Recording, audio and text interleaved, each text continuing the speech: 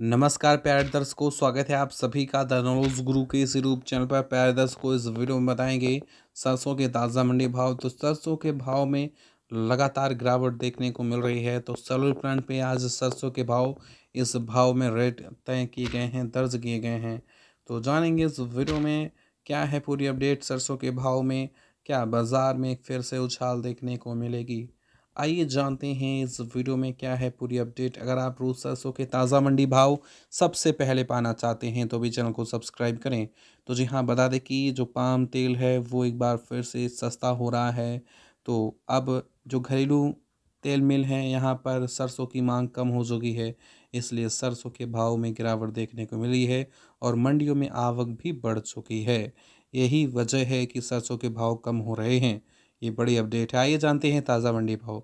तो आगरा, शमशाबाद, दिग्नेर में में जो सरसों के भाव अट्ठावन सौ पच्चीस रुपये अलवर में सत्तावन सौ पचहत्तर रुपये कोटा में सत्तावन सौ पचास रुपये आगरा बीपी में छप्पन सौ, आगरा शारदा में छप्पन सौ रुपये प्रति क्विंटल।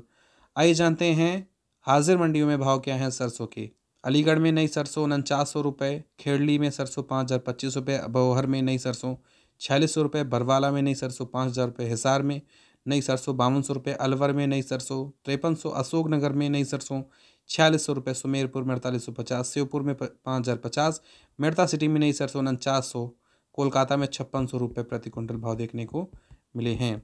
जबकि दिल्ली में सरसों बिका है बावन सौ रुपये रेवाड़ी में इक्यावन सौ पचास रुपये भरतपुर में नई सरसों, पाँच हज़ार एक रुपये जयपुर में सरसों चौवन सौ पचहत्तर रुपये प्रति क्विंटल। तो ये रहे सरसों के ताज़ा मंडी भाव, धन्यवाद जय हिंद।